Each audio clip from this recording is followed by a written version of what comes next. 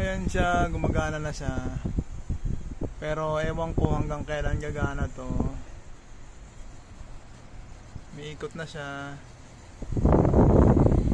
Umiikot na yung pan. Pero ewan ko hanggang kailan gagana to. Eto, at binaklas ko.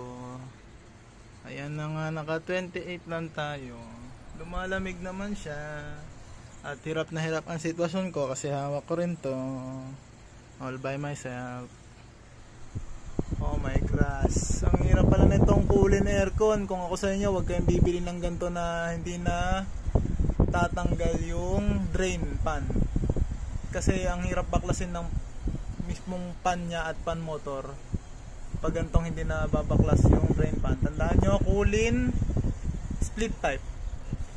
Ang bilhin nyo yung nadidetach yung drain pan. Okay? Kasi ako hirap na hirap ako. Ginawa ko yung exercise ko lang yan. Okay.